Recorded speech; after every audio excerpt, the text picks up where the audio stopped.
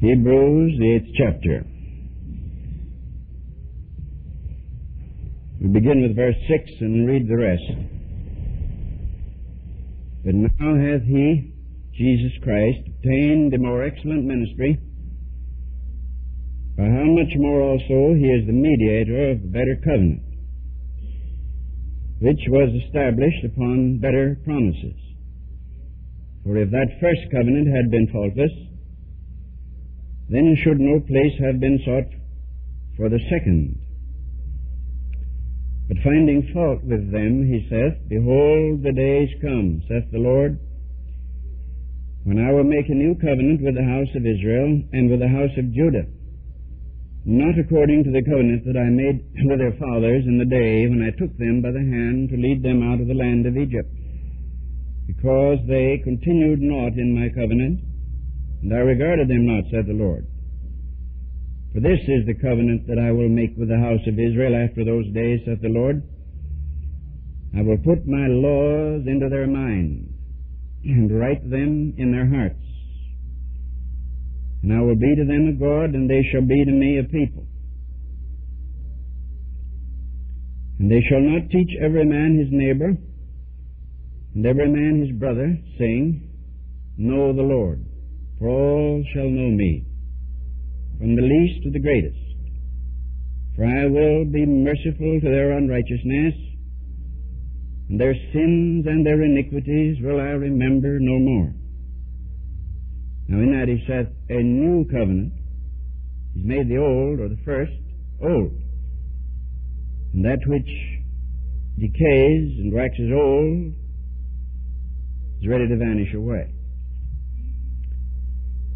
Now, God has established a new covenant. That's the teaching of the book of Hebrews. But that isn't to cry down the old covenant in any way, the Old Testament, the old law, but it is only to say that the old covenant was provisional, something like the scaffolding that goes up when you're erecting a building. You cannot say the scaffolding is of no benefit. It is of a benefit until the building is completed. Then the scaffolding is torn away. So the Old Testament covenant, the Old Testament law, was, according to the New Testament writer here, a scaffolding provisional for the time until the new building was erected. Then it was old, obsolete, and vanished away. Now that old covenant was imperfect by the nature of it, and it was temporary in its continuance, and inadequate in its effect. And I want to show why the Old Testament law fell short of perfection. And by the law, I do not mean the Ten Commandments only. The Ten Commandments were never given by themselves. They were given as a part of a larger law, which included sacrifice and pre- the priesthood and the high priests and the altars and the blood and the lambs and the beasts and the bulls and goats and the Sabbath and all of these were included and are included when we talk about the law. Now, the Old Testament law was holy and just and good, but its weakness lay in its location. Its weakness, weakness lay in the fact that it was external instead of internal because always the springs of a man's conduct and character are within him. Jesus said that the outside isn't so important, but it's the inside, what cometh out of a man that matters. And just what the law could not do was to change what came out of a man. You can chain a tiger, but it's a tiger still. You can put a mad killer in prison for life, but he's a mad killer until there's been a change on the inside of him. And this was the weakness of the Old Testament law. It was on the outside, and it could not deal with the life motivations which came from the inside. Its motivations were the ten words, thou shalt not and thou shalt. But a man always lives from within, and so it couldn't affect that which was inside of the man. I, I don't want to keep repeating that, but I'm afraid I'm not making myself too clear. That uh, that which is on the outside is legislation. And you cannot change a man by legislating. The city council could pass a law and put sanctions on. Ten years in or one year, I don't know how much authority a city council has, but it's enough. They can chuck you in jail. And uh, you can pass a law that everybody in Toronto is to love his neighbor. But uh, we can't fulfill that. We can go grinning down the street in order to stay out of jail, and we can act as though we loved our neighbor in order to stay within the confines of the law and obey the ordinances. Because if you if you smile at your neighbor and look loving, they'll probably think you're loving. But the city council wouldn't pass any such silly law because you can't legislate to a man's heart.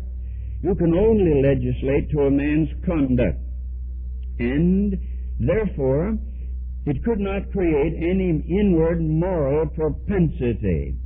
Now, uh, God promised to provide an inward moral bent to holiness. He said that the, there was to be a new covenant. And the writer argues, if you're going to get a new covenant, then you make old and obsolete the old covenant. And he, he argued thus that the old covenant had no more power over the Christian because God had promised a new covenant and the Christian was under the new covenant. And that new covenant was not an external thing, but an internal thing. Now, in order that we might illustrate this, let us go to nature itself. I realize that the word nature and the word instinct are in bad repute in some very learned and extremely egghead circles. They don't like the word instinct anymore, nor the word nature. In fact, if you go, even go to the dictionary, you'll not find the word nature used in the sense in which I'm using it this morning. At least not in the, the one I was consulting recently. But uh, they are willing to say that there is something in a man. They don't want to call it instinct anymore, and they don't want to call it nature. But they do admit that there is a native factor in behavior, that there is a native factor. That is, there is an intrinsic eternal factor in behavior.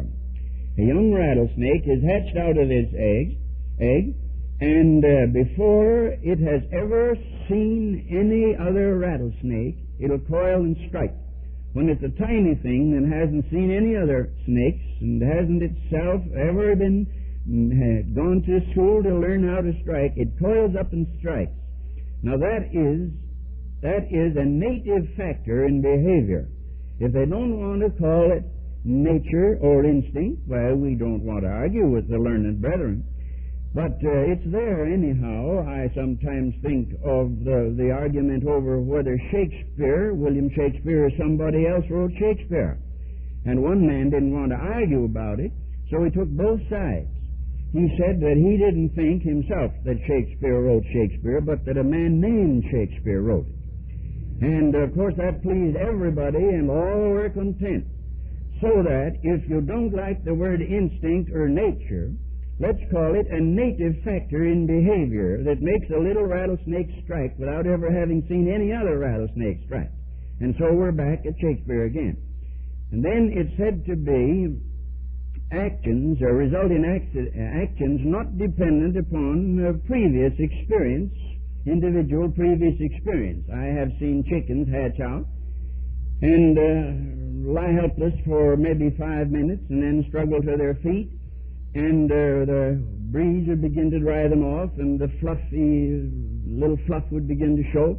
And before they were completely dry, they'd be out scratching.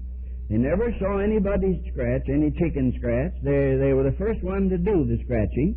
They scratched by uh, some native factor that led them to do acts which were not dependent upon any previous experience. They did it without having been taught it. And then uh, it's a tendency to action which lead to an end And it's that unknown factor which impels each creature to act like itself. Now, I think we've made that plain by definition. That whatever this is in, in animals and birds and fishes and worms and all the rest, it's that unknown factor which impels every creature to act like itself. now, this can be altered by pressure from the outside, of course. The chimpanzee can be taught in the circus to put on a bib and eat with a knife and fork. But he's a chimpanzee still.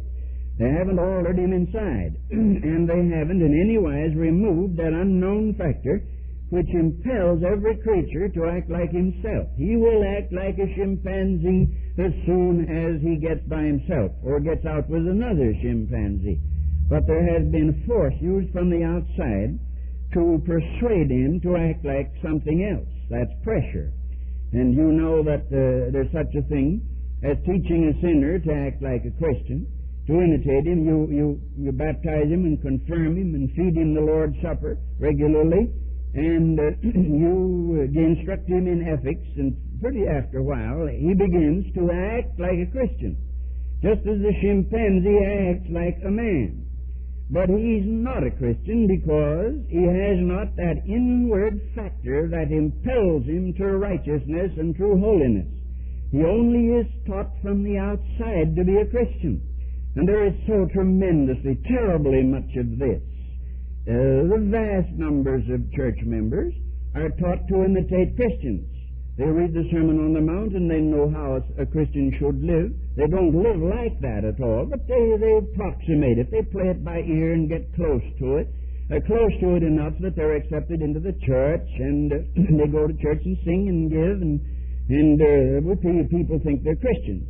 But they, they are living by, by, by external pressure and by artificial training and imitation, and not by that native factor inside of them which teaches them to act in a certain way, and uh, that unknown factor which impels them to act like Christians. They don't have that.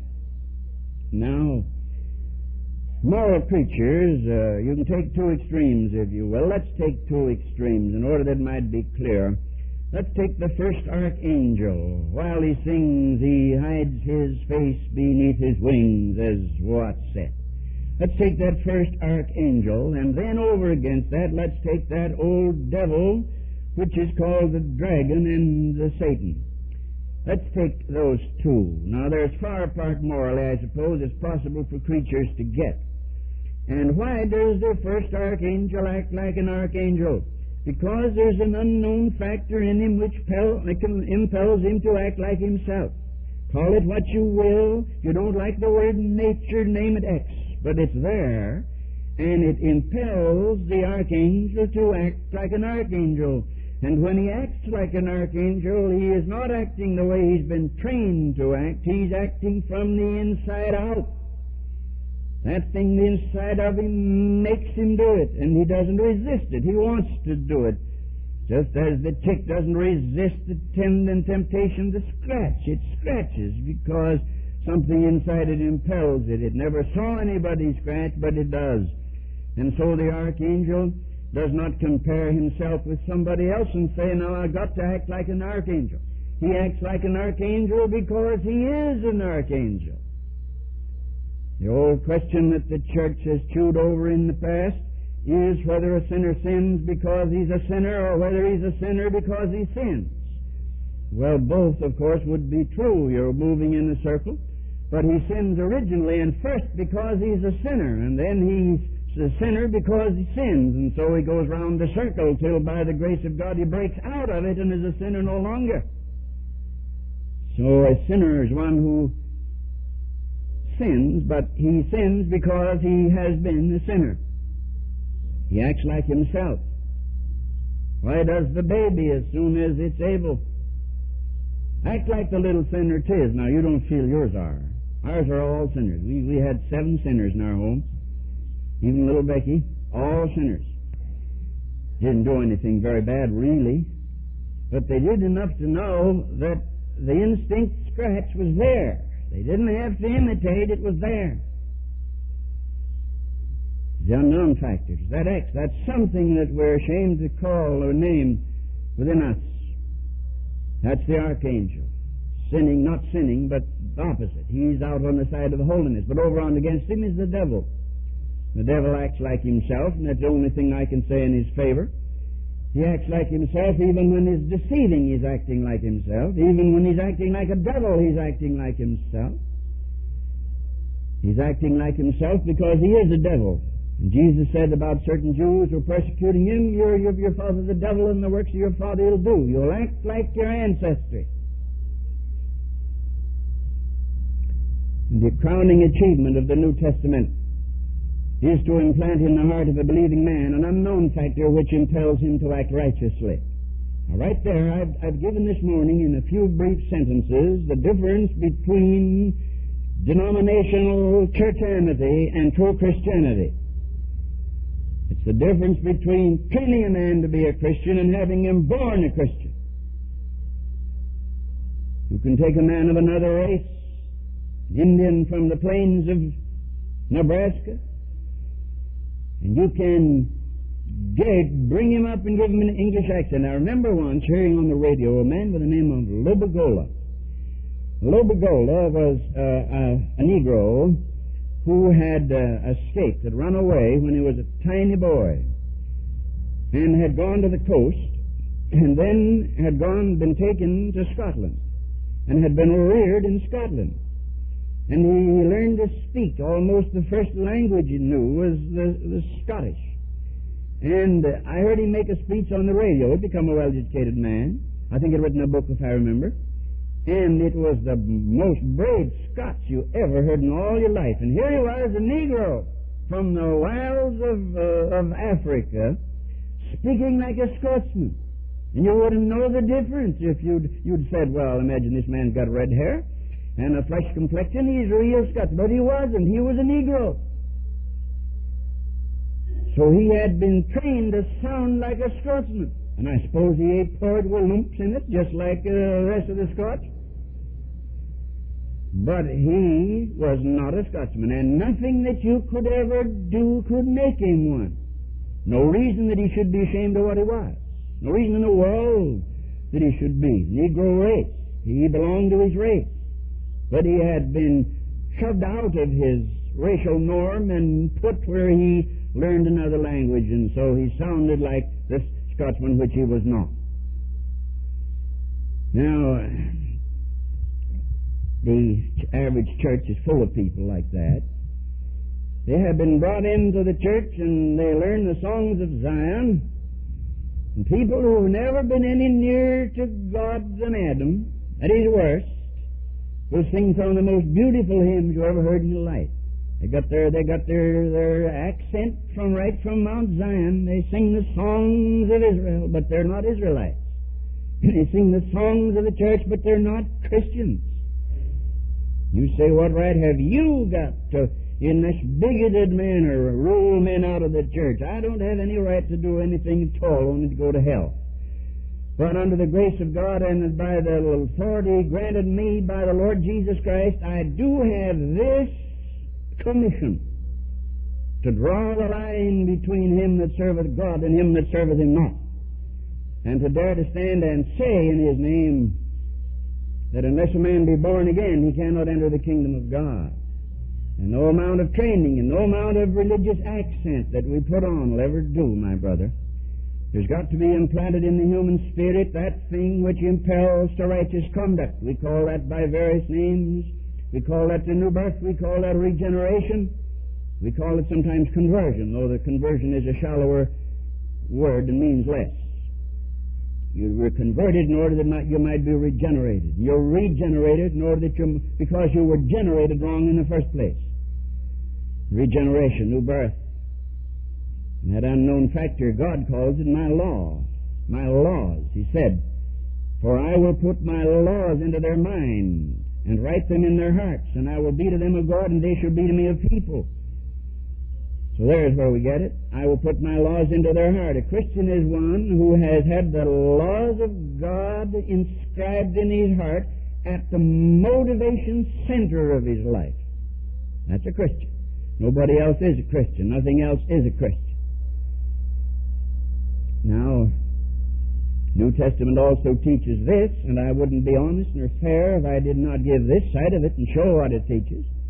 The New Testament teaches the presence of other conflicting factors in even a Christian's life. While the mainspring of his life is that new law of God written not in stone but in flesh, but there are conflicting factors which sometimes overcome him weakness and flesh in the world and lust and old habits.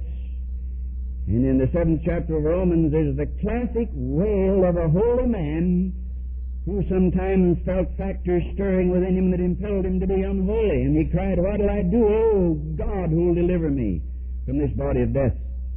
And he went on into the eighth chapter and showed that there was provision made for deliverance from these, these wild factors that lie in us, which we call the flesh or carnality or the old man, or a dozen names are given to this. A holy man, a good man. Man I heard of was converted the law of God written in his soul. And he loved God with all his heart, but he hadn't been converted very long and he was a carpenter. And he was pounding away and missed the nail and hit the thumb. And he let out a yell that would have curled the hair of an archangel. And it was the old swear word. But instead of getting on his knees, he smiled and said, Glory to God. Sounds sort of confusing, doesn't it? But it isn't at all. It suddenly reached that that was gone. That was a reflex, an old habit, and that he had fallen into it for a second, but God knew he didn't mean it, and he looked up and glorified God who delivered him.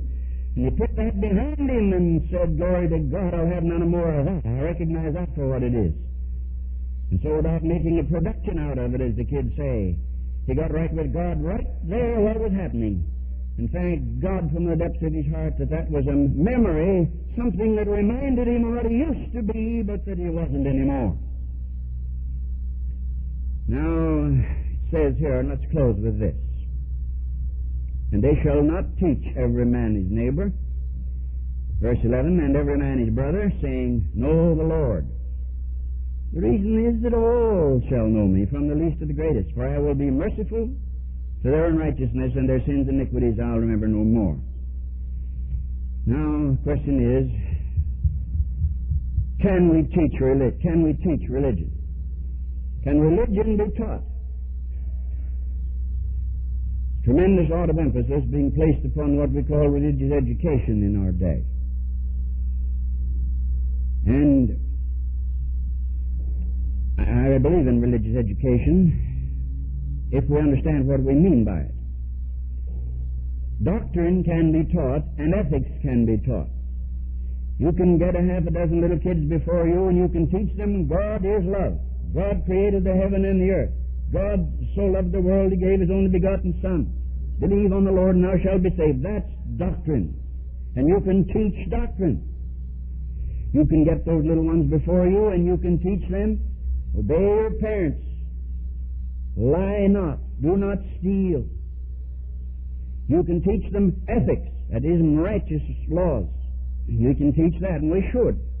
Doctrine should be taught. I've been trying to teach it this morning. We can teach doctrine and we can teach ethics, but you can't teach salvation.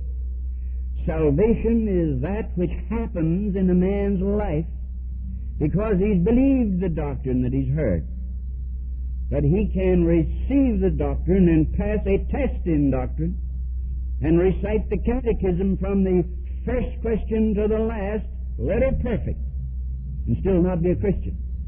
Because you cannot, by teaching, make a man a Christian. Though by teaching you can impel him to want to be a Christian, and you can show him how to be a Christian. And when he's become a Christian, you can teach him, as Jesus said, all things whatsoever I have spoken unto you. But you can't make him a Christian by teaching him. The, curric- the curriculum never yet was devised that could cause a baby to be. A baby's a life, and it's born out of life. But after he's born and grows up, you can send him to college and subject him to the curriculum, and he can learn a great deal that he ought to know. But you have to start with life. You cannot create life by teaching. I wonder how many uh, Christians there are who are Christians only by instruction, Christians only by religious education, Christians only by having somebody manipulate them, put them in water or sprinkle water on them. This is tragic, it seems to me, that we can come into the church and take a part in the church and not be known not for being Christians because we're acting like Christians. That is, in a measure, we are. We don't do this and we don't do the other. And we are in church and we do give. We are somewhat refined. So we act like Christians, but the terrible thing is we're Christians by manipulation. Christians by instruction rather than Christians by regeneration. Salvation can't be taught. Salvation, among other things, bring brings an implantation of an unknown factor within the soul that impels to holiness. And the true Christian cries, Abba, Father, by an impulse of the Spirit. He doesn't have to be taught. Nobody says to the new Christian, now say, Abba, Father. He says it because the Spirit of the Son is in his heart, impelling him to say it. And so the biggest question before us this morning biggest question before us this morning is Has this happened to me? Have I received Him, believed on Him? Has He wrought in me that miracle which impels me to want to do right and makes me grieve if I don't? Most serious, my friends, that we ask the question and answer it. And it's most serious that we answer it in the affirmative and be right about it. It would be a heart breaking thing, or at least a very disheartening thing, if we were permitted to stand out in front of the average church, just the average church anywhere, just close your eyes and put a pin down in the telephone church department and go to that church. It'd be disheartening to go and be permitted question each one that steps down the steps out goes for his car. Are you truly a Christian inside? Do you have implanted in you by the miracle of the new birth that unknown factor which God has named for us, His laws, that make us make you want to do righteousness and hate sin and love God and hate iniquity? Are you yourself now this morning blessed with this inward factor that impels to holiness? If you could get an honest answer, I know what you'd get. You'd get the brush off from 99%. But if you could get honest answers, it'd be heartbreaking. Because there's no question about it. If all the people who go to churches in Toronto had this unknown factor, this thing that impelled them to righteousness, this would be a different city from what it is now. And Christianity would be quite some other thing than what it is now in this town or any other town. So as we enter into the communion service, let's not blame each other. I won't blame you. Don't you blame me. Don't try to pick flaws in me, and I won't pick flaws in you, but let's, let's pick flaws in ourselves, each one. And let's before God this morning say, Lord, don't let me be one more of these persons. It's like the chimpanzee that's been trained to act like a man but isn't a man, will die a chimpanzee. Help me, Lord, that I may not be a sinner, a good sinner, a moral sinner, a sinner with high ethical standards, a religious sinner, but a sinner nevertheless. This would be a terrible tragedy, my brethren. May God grant it shouldn't be the portion of any of us. Amen.